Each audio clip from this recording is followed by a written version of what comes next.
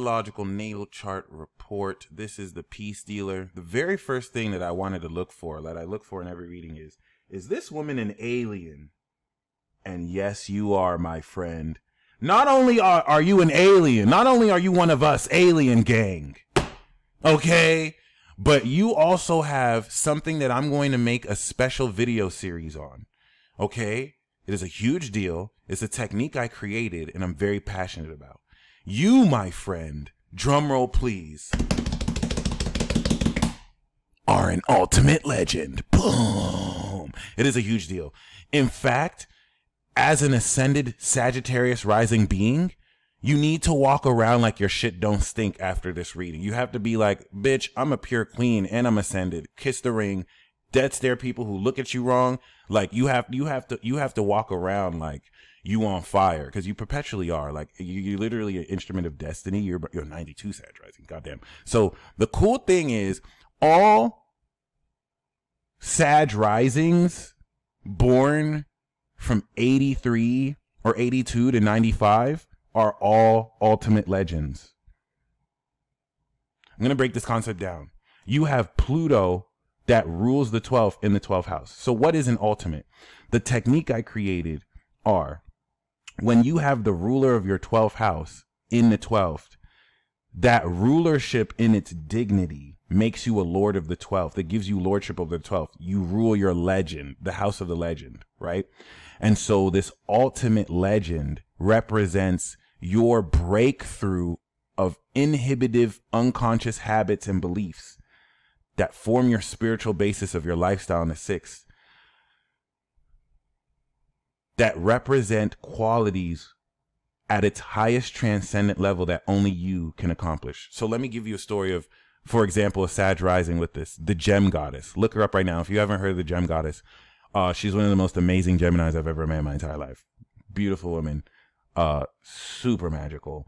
Um, she's an ultimate. She's a Sag rising with this and you know she's also one of the most popular YouTube pick a card like YouTube personalities and pick a card readers on YouTube. That's an example. Like everyone who has this, there's evidence of this. They, they don't just have this. And everyone who has this has also some amazing aspects too. Like you have the North Node on your rising.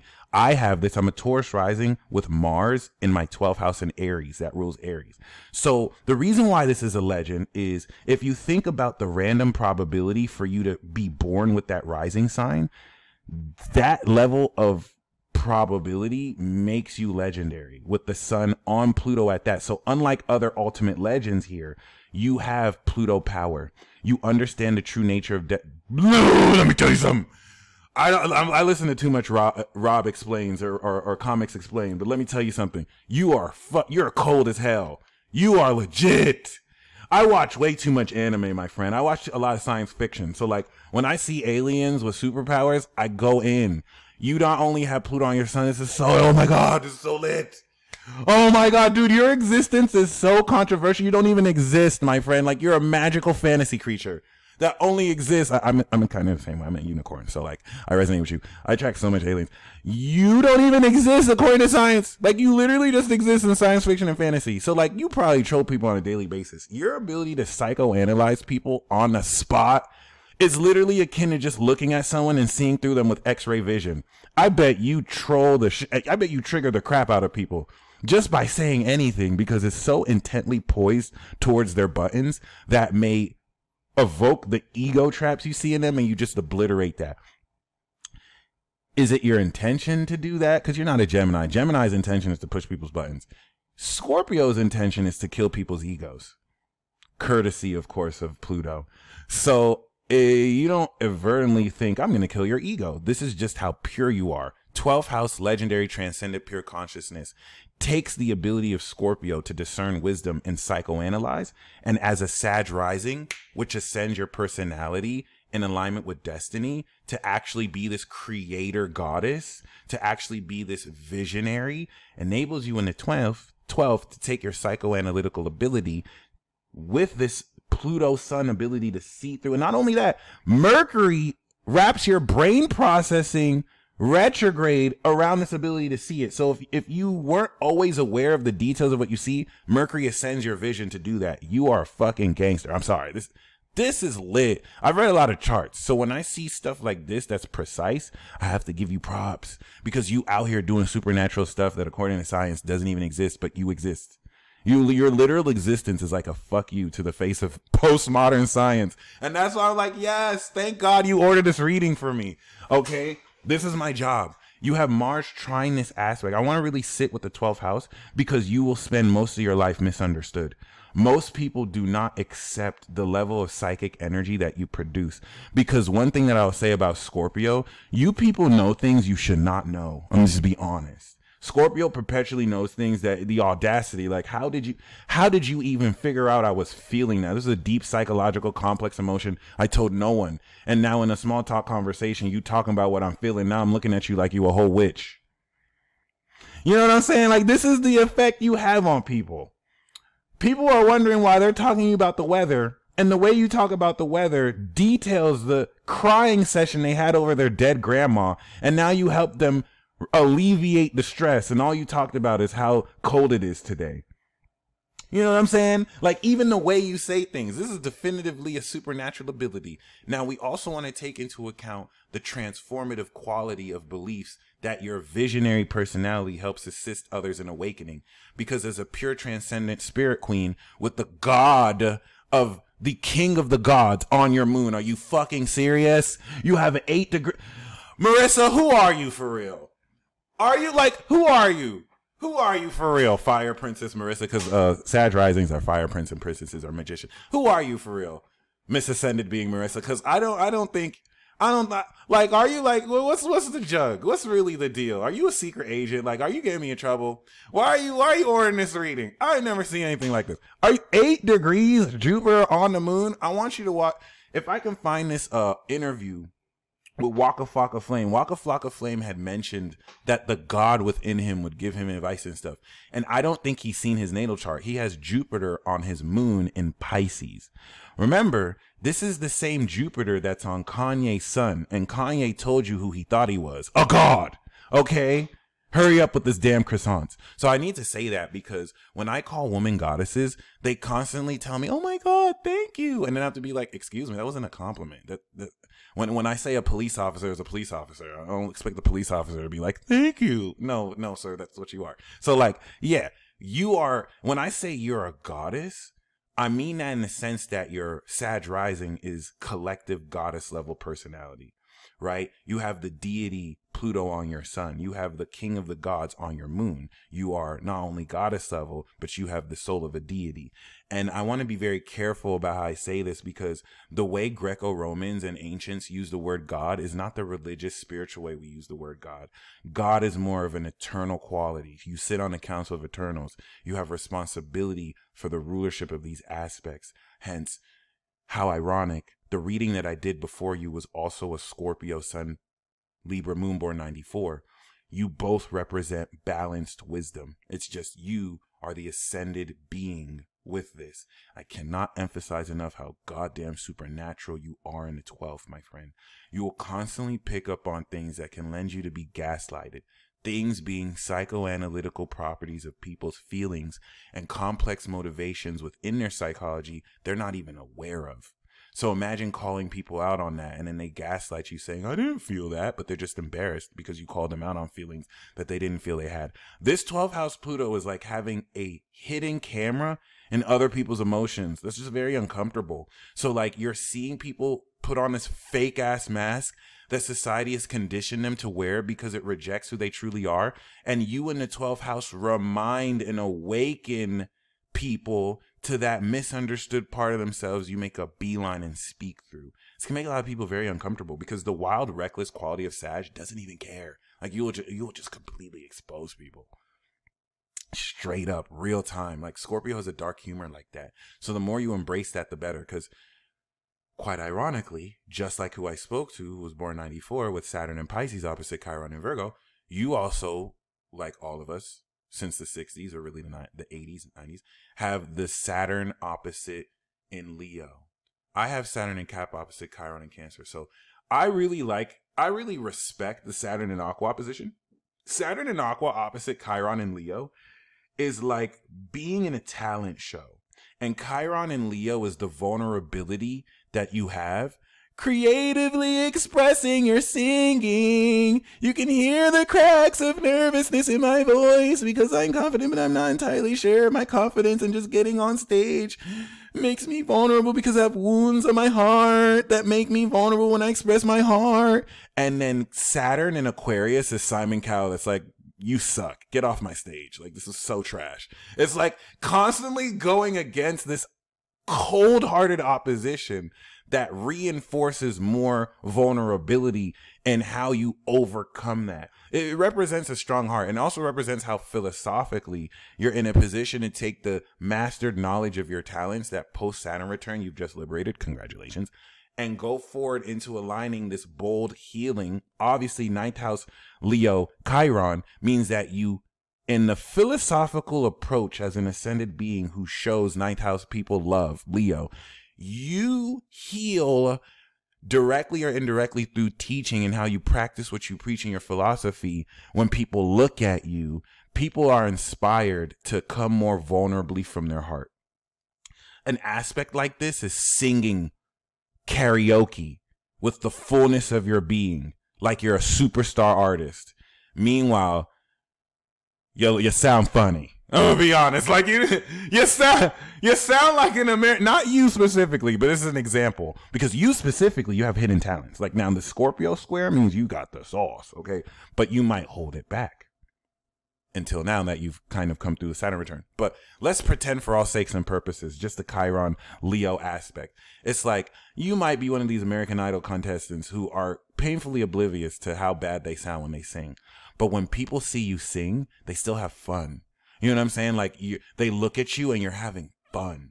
They don't care. They, they're like, damn, for someone who's not that good at singing, you have so much confidence singing anyway. It makes me want to express myself and not care about being perfectionist. So in context to you, you probably might be an amazing singer, but you can keep that pure talent hidden in the 12th because of the inhibitive outside influences from the collective Aquarius and society Leo that keeps you trapped in the 12th house closet.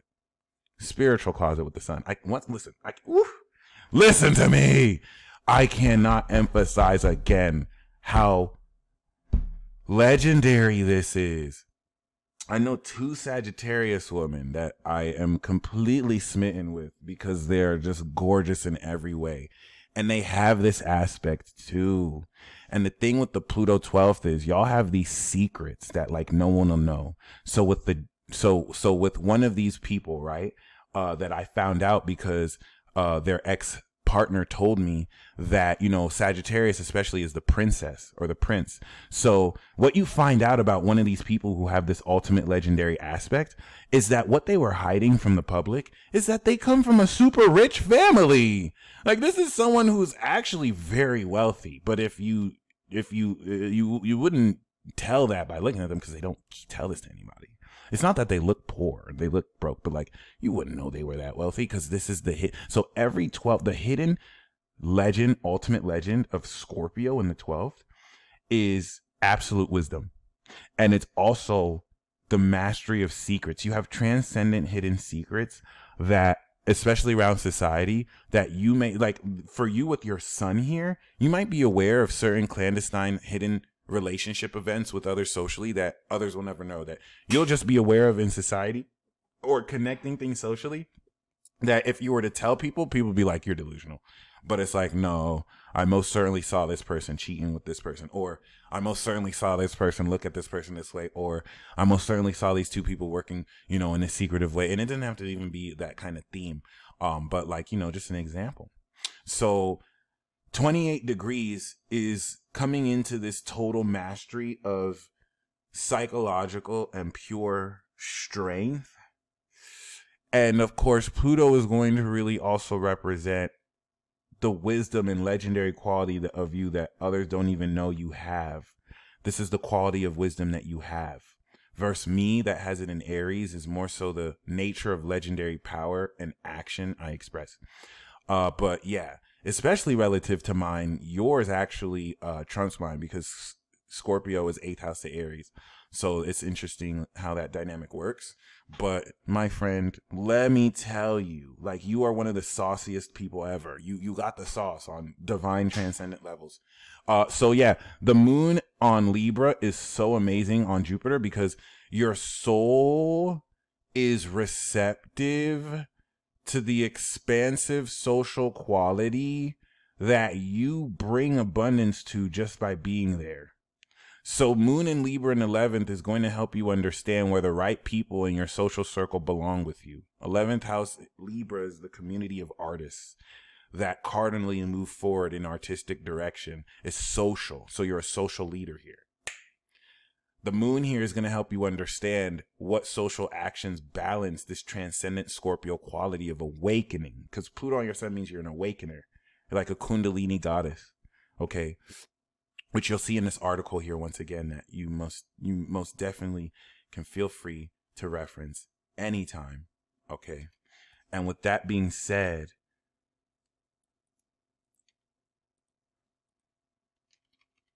the nature of Libra here as a moon sign makes you less retarded than most Scorpios. I, I apologize. That was a horrible joke. Um, but there's a phenomenon with Scorpios. I've even seen this with air sign placements but there's a phenomenon with Scorpios where y'all are too psychic. I don't know what to say. There's like like too much of anything is a bad thing. Like I'm gonna just be honest. And sometimes y'all could be too psychic, especially before your Saturn return. I've experienced this with a Scorpio woman born 93. Beautiful woman. Crazy as shit. Beautiful woman though. and I don't say that disrespectfully to her. I say that with understanding. I, she's not crazy as shit. She's a beautiful woman. but when I say crazy as shit, I'm talking about, oh, I had an intuition that you were talking to this person in the bathroom about unicorns. It's like, okay, crazy as shit. And I don't judge her as being crazy. I'm seeing that as her going through a Saturn return, having to deal with her super psychic potential, not enabling her to, having to break through, learning how to master that. In that, you guys are too psychic. You guys will be so on point to some shit you weren't even there for. This can make you believe that you're on point all the time. And you are. But sometimes Scorpio can mistake their fear and paranoia for intuition. So when Scorpio is on it, they're on it. The same woman who I said is crazy shit has shown me amazing synchronicities when she's on it. But when she gives into the voice of her fear and and doesn't trust those around her, it, it distorts it. And then it looks crazy as hell. Because it is.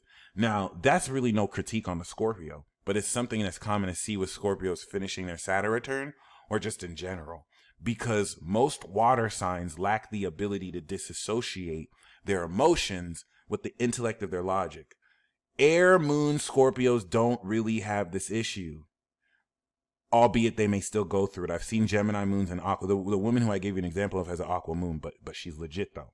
So when I say crazy shit, I do not mean that disrespectfully. Whereas other people might, uh, astrology has helped me understand the psychological process of everyone. So, you know, um, not to act like a know-it-all, but, you know, in your soul's connection to Saturn, the social receptivity and understanding of people's characters, moon and cap, I have, moon and Libra, you have. So moon and cardinal signs is soul power. You and I have very powerful soul power. I have Saturn, moon, Neptune, Uranus. I'm one of the most powerful soul power, period.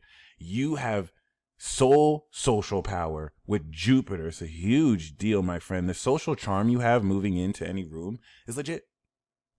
And Jupiter will help you expand your understanding to maneuver leverage and maneuverability and what more you can do. So this aspect of soul power represents your receptivity to people's characters.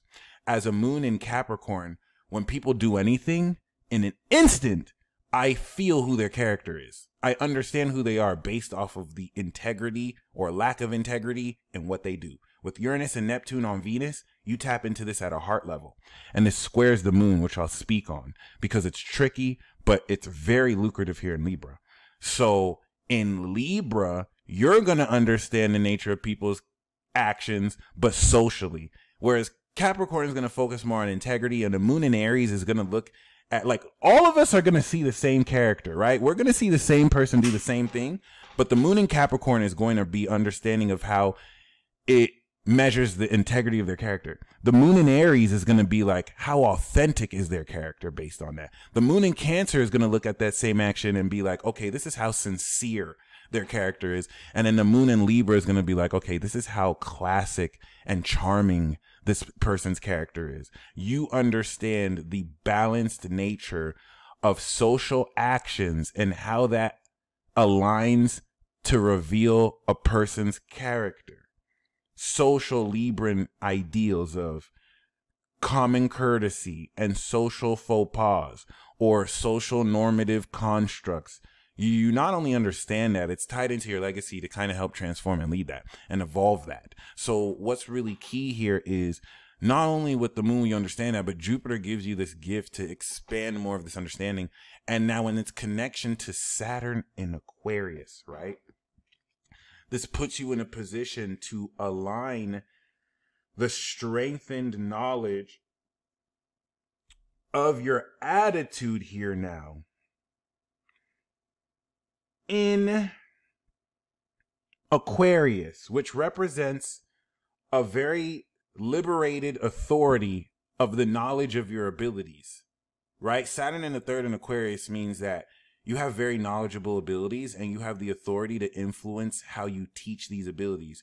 Your karmic lesson is to come into an advanced mastery of teaching knowledge or how people learn knowledge relative to the home foundation you create this library of wisdom. Fourth house to your Scorpio sun. So, with that being said, the power of your soul and this understanding of the social actions you can take to align more where you belong will be strengthened by Saturn. If Saturn didn't trine it, you would have the soul power, but Saturn is here. So it adds mental strength so you know more what direction you're going. I'm preaching. That being said, you have very powerful second house energy. Sagittarius risings and Sagittariuses have superpowers. Aries is original power. Cancer is sincere individual power. Libra is social power. It's a superpower. And then Capricorn is collective God power. It's the highest superpower. So Sag risings have Capricorn in their second house. And whatever is in your second is what you have. And so you have Capricorn. Capricorn is a superpower. You have superpowers. Cool. We've scientifically explained how you have superpowers. You're not the only Sag rising though. So the superpowers you have unique to other Sag risings is that with Uranus and Neptune, you have the supernatural ability. Okay, and I shit you not. You have the supernatural ability.